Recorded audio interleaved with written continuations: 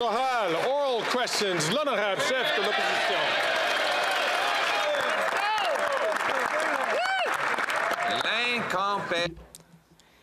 This Prime Minister's incompetence is just not worth the cost. With his excessive spending at the federal level, he has caused so many messes in the military, immigration, inflation, the housing market, and so many more. But instead of cleaning up his own mess, he's just creating more problems with expensive promises promises that interfere with provincial jurisdiction. Why is this Liberal Prime Minister bringing his incompetence into areas of Quebec competency? The Honourable Minister of Public Services. Mr. Speaker, it's quite humorous to hear the word incompetence in the mouth of the Leader of the Opposition when he was Housing Minister, who created only six affordable housing units for the whole country during his term. Recently, he accused Quebec municipalities of being incompetent. On March 15th, with Quebec City, we started 324 affordable housing units. Who's really incompetent here? The leader of the opposition with his six units, or Quebec municipalities with hundreds? The honorable leader of the opposition. When I was housing minister, housing costs were half of what they are today and hundreds of thousands of housing units were created with low interest rates. Today, we learned that the Bank of Canada will not be lowering interest rates.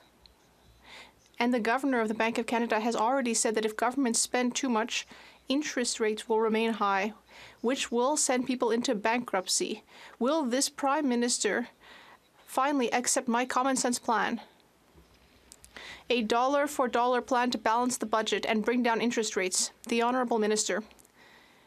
Thank you, Mr. Speaker. The Leader of the Opposition was just talking about the government of Quebec, and I talked about Quebec municipalities. Now, with the Quebec government, we signed an agreement to create 8,000 new affordable housing units. During his term as housing minister, the Leader of the Opposition created six affordable housing units. And yet, he called Quebec municipalities incompetent when will he agree to come with me to meet with the Quebec City leaders to apologize in person? The opposition. Mr. Speaker, I'll never apologize for keeping housing costs low when I was the Minister of Housing. But if you were hoping for some interest rate relief today as a, a mortgage holder, as someone with a small business loan or a line of credit, you got some bad news that the Prime Minister is not worth the cost. Rates are staying high long because, as the Governor of the Bank of Canada said, if government spending grows, then interest rates will have to stay high to combat the resulting inflation. Why won't the Prime Minister accept my common sense plan to fix the budget with a dollar for dollar law to bring down rates? The Honourable President of the Treasury Board. Mr. Speaker, it's possible to be prudent fiscally and have strong social programs exactly. as well. That's exactly yes. what our government does. With the AAA credit rating, with the lowest debt to GDP ratio in the G7, and with historically low unemployment. At the same time, we have a national school food program on the table of $1 billion, Mr. Speaker, supports for childcare and early learning, as well as for renters and homeowners. That's what we do on this side of the House. Every day is a great day to fight for Canadians. The Honourable Leader of the Opposition. Every day is not a great day when you're living in a tent city, That's or when right. you've had your mortgage double, or when when you're one of, when you are uh, with the families one in four children who can't get enough food, and they put forward a food program that doesn't have any food. Right. Instead, what they've done is doubled the national debt and driven up interest rates. Today, we learned that the Bank of Canada is unable to bring rates down because the Prime Minister continues to make massive multi-billion dollar inflationary spending. Why won't he uh, follow my common sense plan to bring down the deficit and the rates? The Honourable President of the Treasury Board. Mr. Speaker, wages are growing faster than inflation. Under the Conservatives, poverty was at 14.5%. When we replaced the Conservatives, we brought it down to 7.4%. Mr. Speaker, we will continue to invest in Canadians with the supports for affordable housing, for renters, for early learning and childcare, and because of our work, we will make life fairer Canadians, unlike the Conservative leader who is here for himself. Thank you. The Honourable Leader of the Opposition. Mr. Speaker, we're finding out today from the Bank of Canada that the Prime Minister is not worth the cost. In September, the bank governor said that if government spending were to grow, then interest rates would have to stay high. That was echoed by the former bank governor and incoming Liberal leader, Mark Carney, who indi indicated that, that he does not expect rates to, to fall quickly and that that is partly because of a lack of fiscal discipline. So if he won't listen to me, why won't he listen to his successor and understand that he's not worth the cost of high interest rates? The Honourable Minister for Innovation.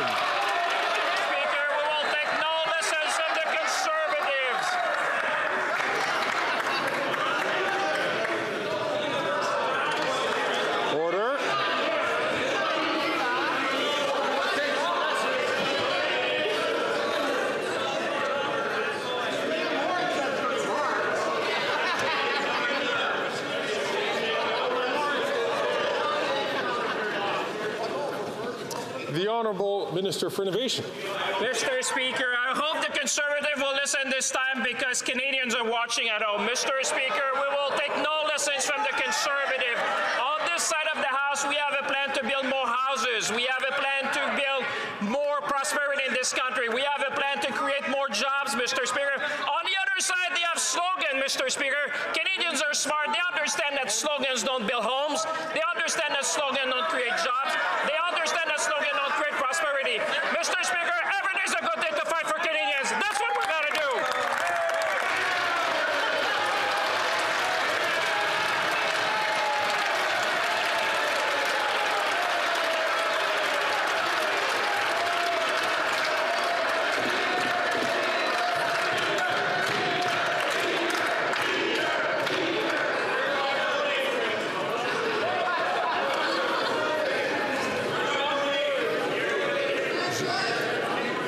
Si on continue comme ça, je suis If this goes on, I'm certain that the honourable member for La Prairie will think that it's about him. The honourable member for La Prairie. Mr. Speaker, for three weeks, the Prime Minister has been making pre budget announcements in Quebec jurisdiction, but not today. Today, he is at the foreign interference inquiry, so he doesn't have time for domestic in- interference. Health, schools, housing, dental care, childcare. It's the Liberals, not the Bloc, who think they are governing Quebec. Ottawa has the money, but Quebec has the expertise. If Ottawa wants to help Quebec, it should just increase transfers. What is this government waiting for? The Honourable Minister of Public Services and Procurement. Thank you, Mr. Speaker. Mr. Speaker, it's always a good time to speak about the impacts that government investments have for Quebecers. Let's start with childcare, a $6 billion investment over four years, which will help families and especially women. 35,000 new childcare spots, which will, of course, help families, which will reduce poverty, increase gender equality, help children, all while respecting Quebec jurisdiction. The Honourable Member for La Prairie. Mr. Speaker, this is a real budget striptease, one little piece at a time. At the rate it's going, the budget lockdown on April 16th will be no longer than five minutes. There'll be nothing left to announce. And what will be left to spend after using billions of dollars to interfere with Quebec's jurisdiction? I know that competence would interfere with this Liberal government's brand. Look at Phoenix, passports, ArriveCan, asylum seekers, but that's no reason to violate Quebec jurisdiction. Could this government please transfer money instead of interfering? The Honourable Minister. Thank you, Mr. Speaker. I'm very pleased to answer another question to give a second example of how we're working well with Quebec on housing this time. $1.8 billion in an agreement that was signed a few weeks ago that will enable Quebec to build more affordable housing than ever before, which will greatly benefit Quebecers, especially lower income Quebecers. The honourable member from Burnaby South.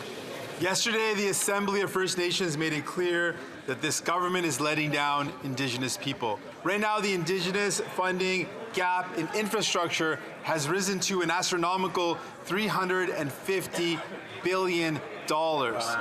That's not just a number on paper. That means Indigenous people are living in moldy homes. That means Indigenous people don't have access to clean drinking water. Why did this Liberal government turn their back on Indigenous people? The honourable minister.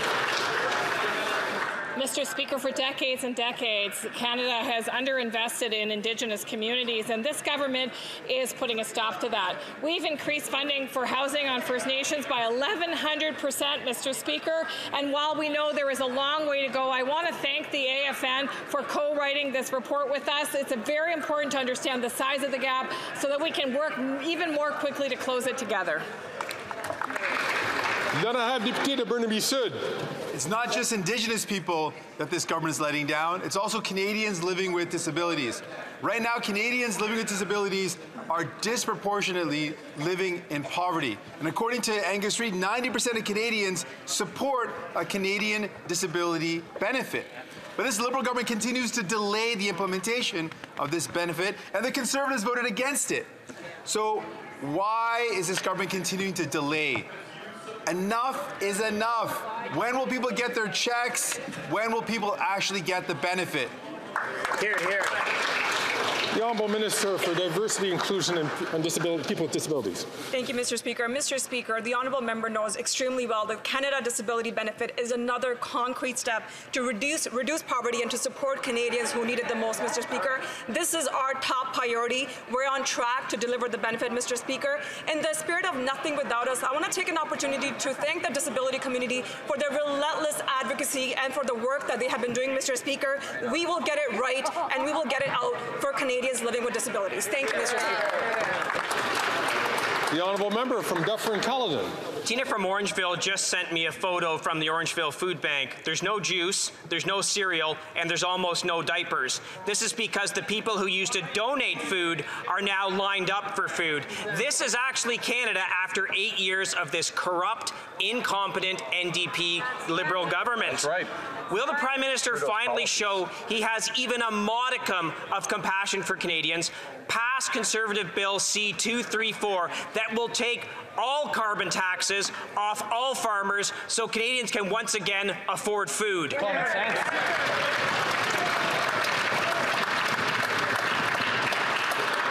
The Honourable Minister for Thank Natural you, Resources Speaker. and Energy.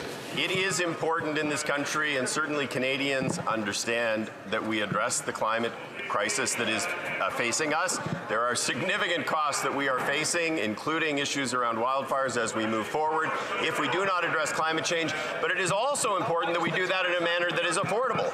Eight out of 10 Canadians get more money back from the carbon rebate than they pay in the, in the price on pollution.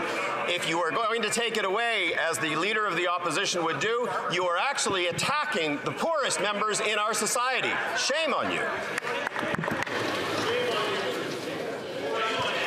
I'm going to ask uh, all members, please, to uh, not take the floor until all um, until the person who has the microphone uh, has the opportunity to speak to all members, so we can hear the questions clearly and we can also hear the answers clearly.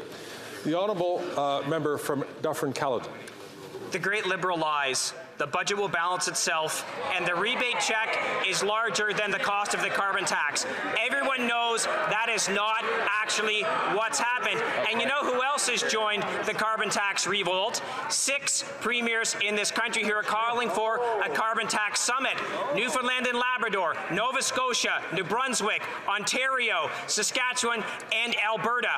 Will this out-of-touch Prime Minister actually call this conference the Carbon Tax Summit or is he too busy hiding because he called the premiers liars?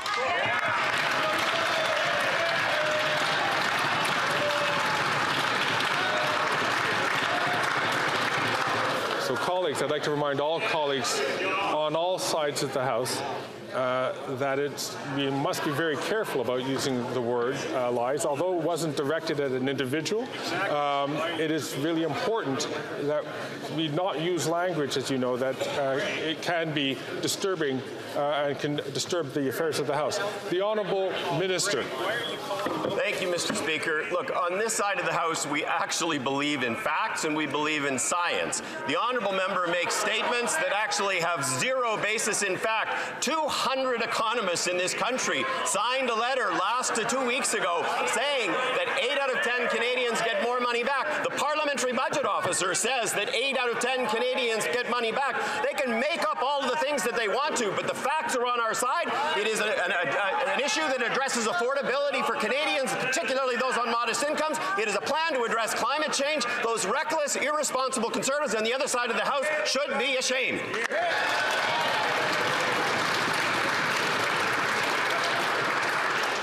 Again, I'd like to remind members to please stay away from language that could be, uh, that certainly it's getting close, closer and closer to unparliamentary. The honourable member from Chilliwack Hope. After eight years of this NDP Liberal government, many Canadians can no longer afford to feed their families. Last year, 2 million Canadians visited food banks in a single month alone. But instead of bringing down the cost of food, the Prime Minister increased the carbon tax on groceries by 23% on April 1st. Clearly, this Prime Minister is not worth the cost. Instead of making things worse, will the Prime Minister finally cut the cost of food by adopting Conservative Bill C-234 to take all carbon taxes off of farmers in next week's budget. Yeah, that's right. The Honourable Government House Leader. It's important that we talk in this House about all of the supports that we're providing to farmers and uh, the agricultural community in the context of our fight against climate change, Mr. Speaker. But I would also point out that after having Conservative senators threaten female senators on amendments on this bill, this is a Conservative private member's bill that they can prioritize at any moment and bring to a vote in this House. It's up to them. C-234's fate is decided on the Conservative side of the House, Mr. Speaker. The Honourable Member from Chilliwack Hope. Mr. Speaker, this Liberal government is completely out of touch with ordinary Canadians who can't feed their families with phony Liberal photo ops. Canadians are already lining up at the food banks in record numbers, and increasing the carbon tax on farmers and food is only making things worse. 70% of Canadians want this government to axe the tax, and half a dozen premiers are demanding an emergency meeting on the carbon tax crisis. So will the Prime Minister stop hiding and hold a carbon tax conference with the premiers and listen to their plans to axe the tax? The Honourable Minister for Natural Resources and Energy. Thank you, Mr. Speaker. Again, I would implore the Conservatives in opposition to actually use facts when they actually make statements. 200 economists in this country have validated the fact that the carbon price is the most efficient way to reduce emissions and is done in a manner that is affordable. When Premier Moe actually came before the, uh, the committee a couple of weeks ago, journalists actually called the statements that he was making, which are the same as what this fellow is making, a parade of nonsense and completely dishonest. I totally agree. L'honorable député de Charlesbourg, Haute-Saint-Charles. The Honourable Member for Charlesbourg Haute Saint Charles. Mr. Speaker, after eight years of this Liberal Prime Minister, rents have doubled, and our youth can no longer dream of buying a first home. Record lines at food banks. Everything this Prime Minister touches just withers. He's breaking everything in Ottawa, and now he wants to bring his incompetence to Quebec with these centralizing pre budget announcements. Will the Prime Minister finally understand that this is just making things worse for Quebecers? The Honourable Minister of Housing, Infrastructure and Communities. Mr. Speaker, on the contrary, we are investing to build housing in Quebec. For example, the Accelerated Housing Fund in Quebec has enabled us to sign an agreement with the province, $1.8 billion to build 8,000 affordable housing units throughout the province. The Conservatives are against that investment. It's incredible. We will continue to invest to Im improve the situation and build affordable housing more quickly. The Honourable Member, Mr. Speaker, How can we trust this government when we think of the way they manage everything the border, the armed forces, ArriveCAN, EI?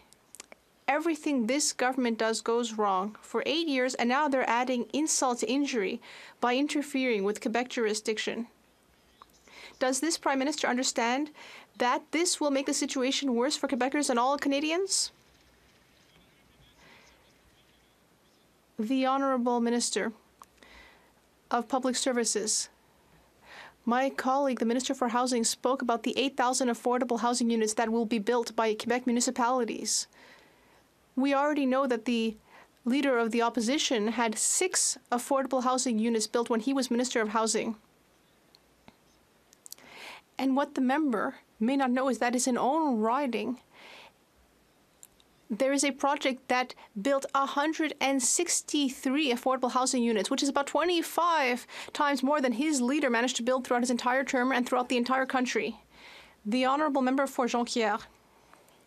Now, in the expression area of jurisdiction, there's the word jurisdiction. When you have a toothache, you don't call up the barber, and you shouldn't call up the federal government either. Federal dental coverage is still not available, and yet already everyone is mad at Ottawa. Seniors are mad because they were promised free dental care, but instead they're going to have to pay. Dentists are mad because Ottawa is blaming them. And all of this because Ottawa, which knows nothing about the matter, promised free dental care without totting up the bill. Why not instead act like the tooth fairy and slip the money under Quebec's pillow? The Honourable Minister of Health. Mr. Speaker, it is essential that everyone throughout the country and each and every Quebecer can receive dental care. That is our objective, and that is what we will do. In the spirit of cooperation, I will continue to work with the government of Quebec. The Bloc Québécois is always trying to pick arguments and find problems, whereas our government is finding solutions and ensuring that everyone gets the health care they need. The Honourable Member for Jonquière. Mr. Speaker, Ottawa could send money to Quebec's insurance health insurance program for dental care. Quebec is ready to do that, but Ottawa is instead creating red tape, redundancy, and is making everyone mad, even though the program hasn't even started yet. With housing, Ottawa could give the money right away, but instead it's going to lead to a constitutional conflict until 2025. The federal government is not like King Midas. Instead of touching things and they turn to gold, it touches things and they turn to mold. Why continue interfering with Quebec jurisdiction? Why would we let them do that when everything takes longer and is ultimately worse? The Honourable Minister of Health. Mr. Speaker, the system for dental coverage is simple. People will receive a card, and with that card, dentists throughout the country can use the same system as they do with any other kind of dental insurance, and then very easily patients will receive necessary services. If Quebec wishes to manage the system, that's not a problem. We can work together. However, it's absolutely essential that the service be available immediately for Quebecers, and that's what we'll do. The honourable member from Battlefords Lloydminster. Thank you, Mr. Speaker. After eight years of this Prime Minister, Canadians are struggling to put food on the table. Food banks received a record 2 million visits in a single month last year alone, and, million, and a million more Canadians are expected to visit food banks again this year. The carbon tax is driving up the cost of groceries and everything else. Struggling families are desperate for relief in next week's budget. So, Mr. Speaker, will the Prime Minister axe the carbon tax on farmers so the food prices can go down? The Honourable Minister for Natural Resources and Energy. Thank you, Mr. Speaker. Once again, the honourable member is is uh, saying things that are devoid of facts, and in fact, what she is proposing will actually take money away from folks who live on modest incomes. Eight out of ten families get get more money back than they pay in the price on pollution, and it works directly inverse to income. It's those people that live on most modest incomes that would be most impacted by their plan to cut the carbon rebate. That is reckless, that is irresponsible, and it puts at risk people who live in this country on modest incomes.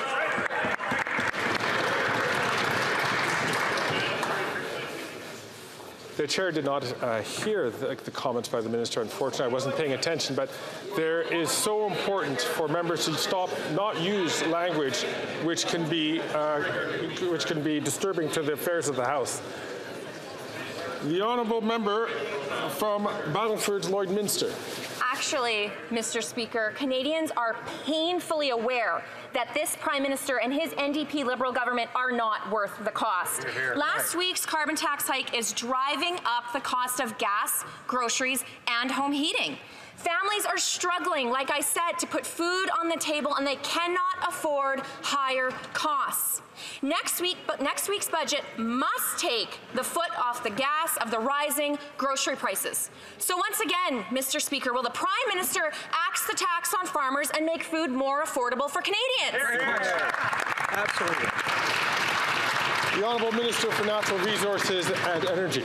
Thank you, Mr. Speaker. I would suggest to my honourable colleague across the House, who is from the, the great province of Saskatchewan, that she go and have a conversation with Dr. Brett Dolter at the University of Regina, who has said 8 out of 10 Canadian families get more money back, and it's those that actually live on modest incomes that do the best on a net benefit basis. It is an affordability program, but it is also a program to address the climate crisis, which imperils the future of our children. The fact that these folks have zero plan to address the climate issue and they don't seem to care at all about it is reckless and it is irresponsible.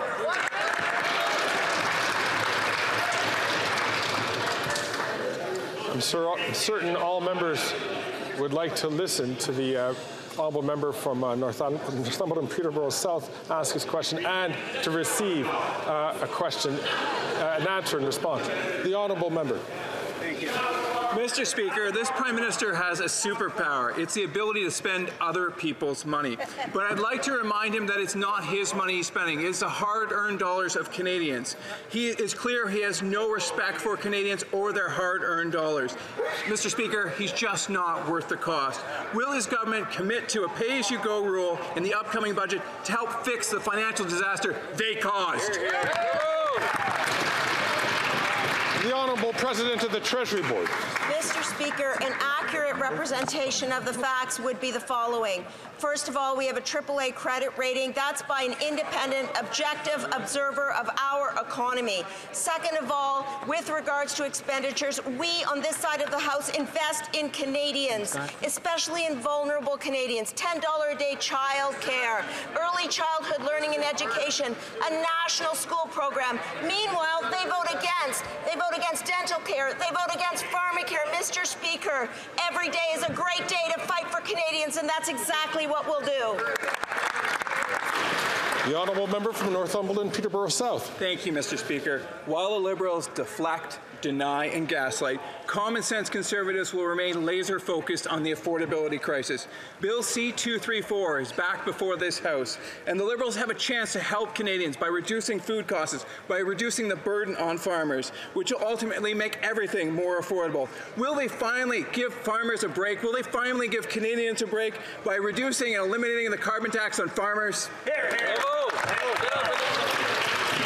The Honourable Government House Leader. Bill C-234 is a Conservative private, private member's bill that that party right. can elect to bring to this House for a vote at any time. I would invite the Honourable I would invite the Honourable member to talk to his House leadership and we'll get on with the vote for C-234.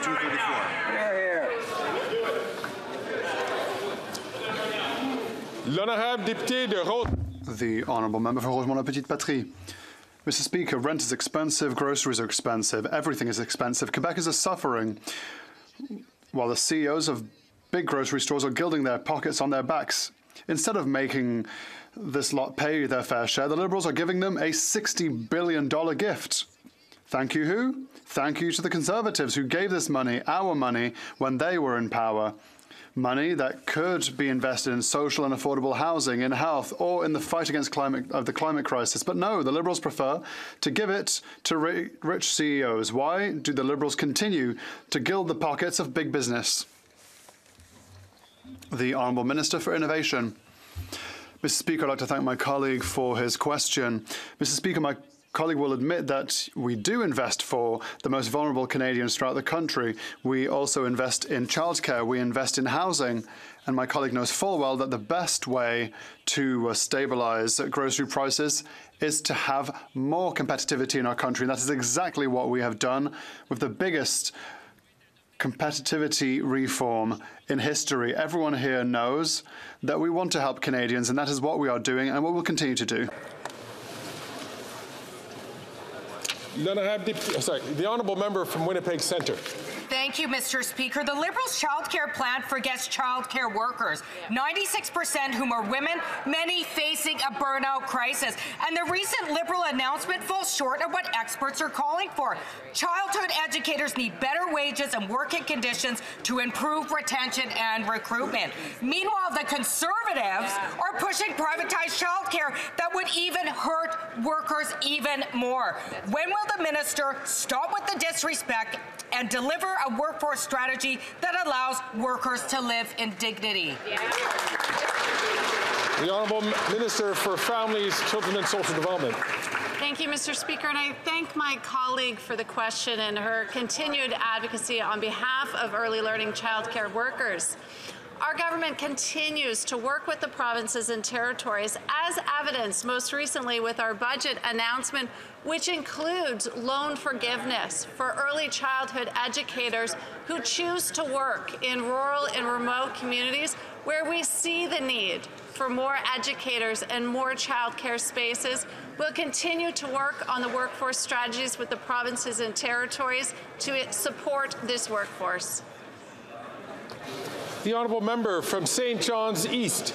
Mr. Speaker, tourism is one of the most important pillars of Atlantic Canada's economy. In my riding of St. John's East, the Bell Island Heritage Society number two Mine Tour and Community Museum is a hidden gem. Recognized as a world-class destination, they are helping attract tourists to experience for themselves what our community has to offer. This in turn supports our local economy. Can the Minister for CORT tell us what efforts are being made to help our booming tourism sector grow even more, specifically in Atlantic Canada? The Honourable Minister. Thank you, Mr. Speaker. Big things are happening on the East Coast. In February, I was with the Minister of Tourism to announce the signing of the Atlantic Canada Agreement on Tourism. This $30 million agreement gives a major boost to more than 7,500 tourism businesses throughout Atlantic Canada. This support creates year-round opportunities, fuels innovative marketing, grows our Indigenous product, and brings more visitors to our beautiful corner of the world. With their breathtaking landscapes, delectable cuisine, and renowned hospitality, our region has so much to offer, and we're pulling out all the stops. You put Atlantic Canada on your bucket list this year. the Honourable Member for Louis Saint Laurent. Mr. Speaker, after eight years, this Prime Minister is simply not worth the cost. $500 billion later, and without controlling spending, this is the result. The cost of rent has doubled. One child in four in Canada does not have enough to eat, and two million Canadians have to go to food banks. That is the Liberal record after eight years of this Prime Minister's mismanagement. And because the Prime Minister has invaded provincial jurisdictions, Quebecers' lives have become worse. The same for Canadians' lives. Will the Prime Minister withdraw from provincial jurisdictions and stop making life worse for Quebecers and Canadians? The Honourable Minister for Public Services and Procurement. Thank you, Mr. Speaker. My colleague is right to speak about the cost of living. The cost of living is important for middle class families and lower class families. What is interesting is that they are against childcare benefits that reduce child poverty by 50% every month. They're against dental care for children and now for seniors. They are against investments in childcare services that in Quebec have shown us how important it is for gender equality. And now they seem to be against investments in housing, despite the fact that their Conservative leader didn't do much for housing when he was a housing minister. The Honourable Member for Louis Saint Laurent. Thank you, Mr. Speaker. I'd like to mention to the Minister that most things that he mentioned we voted for. However, what makes us angry and what makes Canadians angry is that this government has absolutely no efficiency when it comes to taking care of its own business. Passports, the armed forces, the border, immigration, the cost of living, and the cost of living. The list is long, Mr. Speaker. That is government in action. And what's this government doing right now? It's, it's uh, butting into provincial jurisdictions. It's not their business. So they can't even handle their own business, but they try to get into provincial businesses. When will the government finally step up and respect its own jurisdictions rather than butting into provincial jurisdictions? The Honourable Minister for Public Services and Procurement. Thank you, Mr. Speaker. First of all, I would like to remind my honourable colleague that in his riding there are about 12,000 families who every month, on the 20th of every month, get the Canada Childcare Benefit. That's about $500 every month, non taxable for these families, which reduces poverty by 50% in his riding. Unfortunately, one of the first things that the Conservatives did in 2016 was to vote against this childcare benefit that is beneficial to millions of families and children in his riding in, in Canada. The Honourable Member for Mégantic-L'Érable. Thank you, Mr. Speaker. After eight years, this Prime Minister is simply not worth the cost of his own incompetence. His inflationary pol policies have increased the cost of everything. Rent has doubled, inflation has reached record levels, Violent crimes make our streets less and less safe. Quebecers have less and less purchasing power after having almost shattered in Ottawa. Now, the Prime Minister has passed the last two weeks announcing that he now wants to shatter various provinces, including Quebec. Can the Prime Minister simply just mind his own business for once? The Honourable Minister for Innovation. Mr. Speaker, what we hear is the party of inaction speak to us. If we were to listen to the Conservatives, Mr. Speaker, to do nothing is to solve all the problems. No, Mr. Speaker, the people watching us at home know that we have to invest in housing, that we have to invest in childcare, that we have to invest in a green future. And if you want to talk about success, let us just look at the biggest private investment in Quebec in history. We managed to attract the biggest investment in Quebec in history. We believe that to invest is to succeed, not only today, but in the future as well. The Honourable Member from Mégantic-L'Érable. Like the Minister has often said, people at home knows that after eight years, the Prime Minister is the only one responsible for his own incompetence, his own field of incompetence. It's not for nothing that Quebec doesn't want him to have him around anymore. He wanted to interfere in housing, and Quebecers have seen the price of their rent double. He wanted to interfere in the lives of the middle class, and he's shattered young people's dream of becoming homeowners one day. And now workers, middle class workers, have to turn to food banks. When the Prime Minister interferes, Quebecers foot the staggering bill. Will the Prime Minister finally listen to common sense and put aside his plans to meddle further in areas where he has clearly shown he has absolutely no skill or competence? The Honourable Minister for Innovation. Mr. Speaker, I don't think that when it comes to competency and skill, we have any lessons to learn for the Conservatives. Every time we have been here for Canadians, the Conservatives have always voted against. They're against childcare, they're against investments in housing, they're against investments for seniors. Mr. Speaker, if we were to listen to the Conservatives, we would say no to everything. But no, in today's real world, those who are doing well are investing in our country, we're investing in healthcare, in education, and in housing, Mr. Speaker. Those who are confident will invest in their population. That's what we do, Mr. Speaker.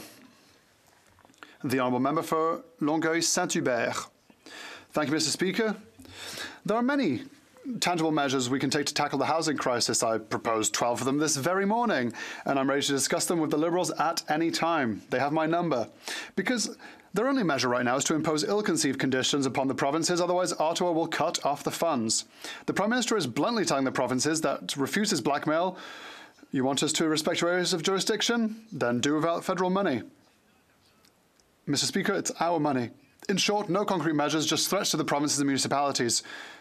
So is this the Liberals' plan? It sounds like a Conservative plan. The Honourable Minister for development. Mr. Speaker, I'm happy to hear the question from my colleague because I read the report that he's mentioned and he worked upon that report. In the report, he put forth a number of uh, stakeholders, and these stakeholders have spoken positively of housing rights interveners that have commended the fact that we want to build more houses. Here, we're not going to just write reports, we're going to build houses. The Honourable Member for Longueuil Saint Hubert. Mr. Speaker, Ottawa's conditions aren't speeding up housing construction, they're slowing them down. Instead of paying the money now so that Quebec can actually go to work, the Liberals are bickering until 2025. The money they're holding back is for infrastructure like waterworks and waterways. That's the first step. Unless the Liberals want, perhaps, housing without drinking water on a wasteland. Imagine, we're just at the stage of putting in running water. We're not even talking about building buildings yet, and already the federal government is hampering everything, slowing everyone down. So why not just pay the money now and tackle the housing crisis right now? The Honourable Minister. Thank you, Mr. Speaker. The whole light blue, dark blue rhetoric over on the other side, it's all the same. We can't, on the one hand, say that we want to help people and then vote against, or say that you're going to vote against measures that we have announced this week. The one that he has just mentioned is in last week's announcements. We have announced a fund to help uh, house builders, a fund to defend renter rights. We've announced a fund to make sure that we will have an industrial catalogue to build more rapidly. Mr. Speaker, on this side of the House, we're not just writing reports, we're building houses. The Honourable Member for Bellechasse-les-Etchemins-Lévis. Mr. Speaker, under the Liberals, one child in four goes hungry after eight years. The cost of housing has doubled. People are sleeping in tents, and the use of food banks has now become the norm. The Prime Minister is failing in his own responsibilities, and his inflationary spending is creating chaos. And he has the sheer nerve to lecture the provinces by invading their areas of jurisdiction with his incompetency. Will the Prime Minister listen to the Premier of Quebec, who is urging him to withdraw from our area of jurisdiction and simply mind his own business for once? The Honourable Minister for Public Services and uh, Procurement. Uh, yes, Mr. Speaker, we're happy to do so with the collaboration of the municipalities of Quebec, including Lévis and the government of Quebec. 8,000 affordable housing units over the next few months. That is the highest level of affordable housing units built by a government for Quebec since the beginning of Quebec's inception. That is why we're working hand in hand with the government of Quebec. They're talking about uh, fields of jurisdiction and competencies, but the least competent is the leader of the Conservatives, who in his time built six entire housing units. Member from St. Albert, Edmund. Excuse me, St. St. Albert, Edmonton. Edmonton. Yes. Thank you. Mr. Speaker, yesterday at the public inquiry, it was confirmed that CSIS briefed top Liberal officials that Beijing interfered in the nomination on behalf of the member for Don Valley North. Today, the Globe and Mail is reporting that a top Liberal broke the law by leaking classified information that resulted in the member for Don Valley North being tipped off that he was being monitored by CSIS. So who broke the law? What is the name of that top Liberal? The Honourable Parliamentary Secretary to the Minister of Public Safety. Speaker, thank you. I thank the member for the question. In regards to the fact that, unfortunately, foreign interference is a problem that some foreign state actors have taken to try to undermine our democracy. But, Mr. Speaker, it's not new, and that's precisely why we have taken this matter so seriously. It's precisely why we have initiated a number of steps to strengthen our democracy. And, Mr. Speaker, we've all all agreed to the inquiry, and we want to allow that work to continue so Canadians have a full picture of the issues around foreign interference. The Honourable Member from St. Albert, Edmonton. Mr. Speaker, that non-answer is completely unacceptable. Enough of the cover-up. Only a handful of Liberal officials were briefed by CSIS. We now know that a top Liberal broke the law undermined the work of CSIS and put the partisan interests of the Liberal Party ahead of national security. So, when did the Prime Minister first learn of this criminal leak, and did he refer it to the RCMP? True. The Honourable Parliamentary Secretary to the Minister of Public Safety. Mr. Speaker, all parties in this House agreed to the terms of reference for Justice Hogue's inquiry. Mr. Speaker, it's important for Canadians and all all members of this House that foreign interference is not partisan.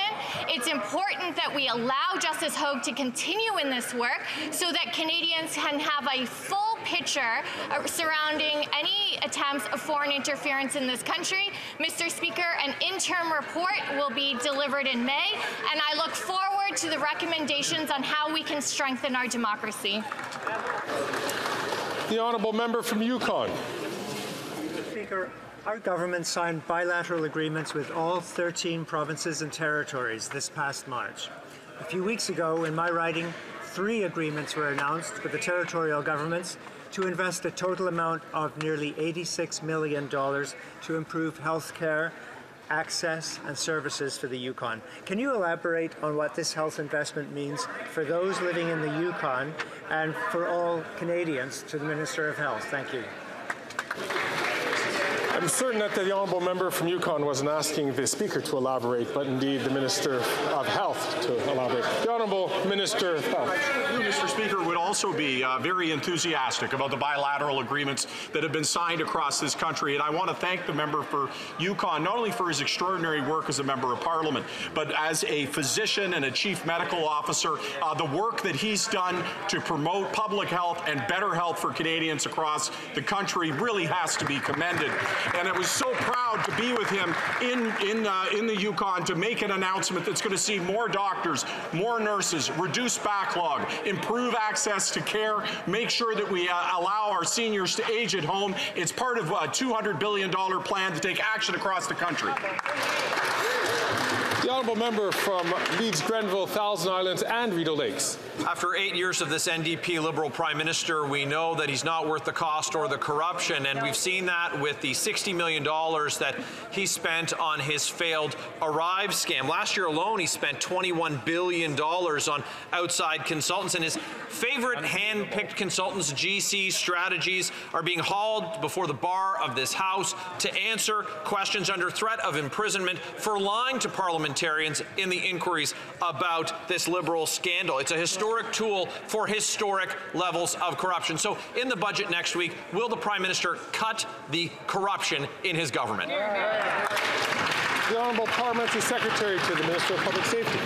Mr. Speaker, as we have said time and time again, when it comes to the procurement process, Canadians and all parliamentarians expect the process to be followed, expect laws to be followed, and Mr. Speaker, this is precisely why we have supported the work of the committee. CBSA has already initiated a number of measures to improve the procurement process. Mr. Speaker, we will continue to make those improvements so Canadians have trust in our procurement systems. The honourable member from Thou sorry, Rideau, Leeds Grenville, Thousand Islands and Rideau Lakes the procurement system that they're presiding over is so broken that millions of dollars are being paid to firms who add no value and do no work to contracts. Just last year, $21 billion on outside contracts, and this NDP Liberal government isn't worth the cost or the corruption of their $60 million Arrive scam that saw GC Strategies paid $20 million but did no work and added no value. For their failed Arrive scam, Canadians got lies, fraud, and forgery? Will they cut the corruption in their budget next Wednesday?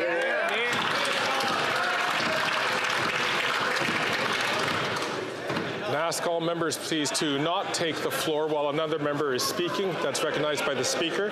In particular, I might ask a member from, I believe it is from Timmins James Bay, to please make sure that his comments uh, are only done when he has the microphone or when he has the floor. The Honourable Parliamentary Secretary to the Minister of Public Safety. Thank you, Mr. Speaker. It's ironic coming from Conservatives that these very same companies that were also awarded contracts under Conservative leadership for millions of dollars, that Conservatives Conservatives did nothing to fix the procurement process. But, Mr. Speaker, rest assured, Canadians can know that our government takes this exceptionally seriously. It's precisely why we've already implemented changes, something that Conservatives ignored for years. We are not going to do that. We are going to build trust in the procurement system, something Conservatives have failed. The honourable member from Sherwood Park, Fort Saskatchewan. Mr. Speaker, this House will make history when one of the favourite contractors of this NDP Liberal government is hauled before the bar. The parliamentary secretary just said that GC Strategies got contracts from Conservatives. Actually, Speaker, you know when GC Strategies was founded? In 2015. Wow. The company was founded in 2015, Yeah, and they did that's a extensive fact. business with this Liberal government. That's they a couldn't get a sole source for the Arrive Scam app. So can the government explain why this company got so much work after being founded in the same year that they took government? And will this government finally cancel their costly criminal corruption?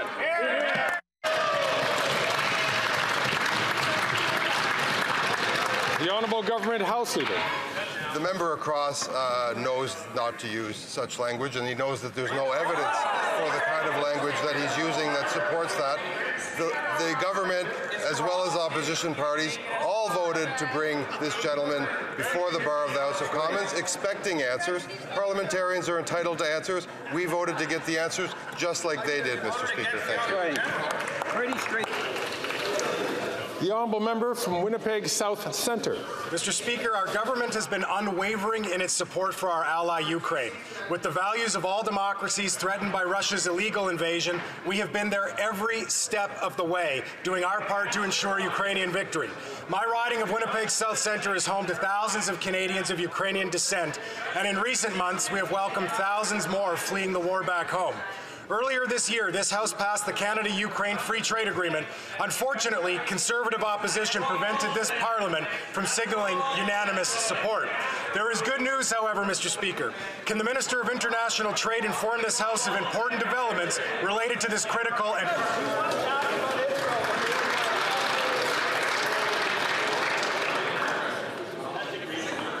The honourable Minister for International Trade. Speaker, I want to inform Canadians and this House that uh, in Ukraine and Ukraine. Parliament have passed the Canada-Ukraine Free Trade Agreement.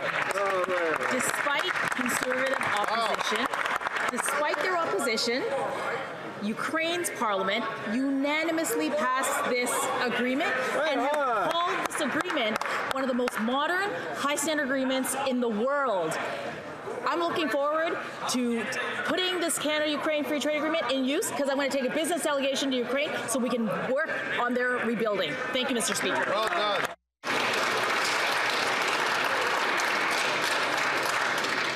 I know it's Wednesday and people are all excited. Let's have the last couple of questions. The honourable member from Courtenay, Alberni. Mr. Speaker, First Nations in BC have suffered enormous loss through their 200 year history of colonization, including the devastating loss of language and culture. Although nations continue to make tremendous progress revitalizing their languages, the Liberals' new formula on funding means a 60% cut to language programs in BC. Preserving and revitalizing Indigenous languages is an essential step to reconciliation. Will this government remember its most important relationship with First Nations and act with urgency to ensure sustained and long-term funding to language programs in British Columbia? The honourable, uh, the honourable Minister for Indigenous Services. Well, Mr. Speaker, let me just first say that I fully agree with the member opposite about the need to uh, preserve Indigenous languages and restore them when they've been so cruelly ripped away from First Nations communities for decades. Indeed, Mr. Speaker, in my own riding, Matawa uh, Tribal Council uh, provides First Nation language training and support for First Nations communities all through Northern Ontario, supported by this federal government. I'm very proud of the work they're doing, and we will continue to work on this uh, preservation with First Nations across the country. The honourable member from Spadina, Fort York. The government's defense policy, Our North Strong and Free, is the latest in Liberal smoke and mirrors. It rightfully abbreviates into NSF, which Canadians know means non-sufficient funds. Spread out 20 years, it has insufficient funds, and by insufficient, I mean zero dollars this year. There's nothing for tactical helicopters, maritime sensors, and military housing. Mr. Speaker, with CAF members using food stamps and sleeping in tents, Liberals provided nothing for housing in 2024 and 2025. Is the Prime Minister aware that his facade policy will keep CAF personnel and their families in tents for years? the Honourable Minister for National Defence. Thank you very much, Mr. Speaker. And, and, and perhaps I should send a copy of our, our new policy update for defense to the member opposite because it's quite clear he hasn't read it. But what I can tell this House, Mr. Speaker, is this is a historic investment in new capabilities, in maintaining the equipment, in ensuring that we can not only support the members of the Canadian Armed Forces, but also grow our numbers. There is money for housing. There is money for other supports. And, Mr. Speaker, there is a, a new focus for the Canadian Armed Forces in the defense of Canada that will make us strong at home to help us be strong around the world. Et voici la fin de la période. That ends question period. I understand. I believe there is a point of order. I recognize the member for Beloeil-Chambly. Mr. Speaker, there has been consultations amongst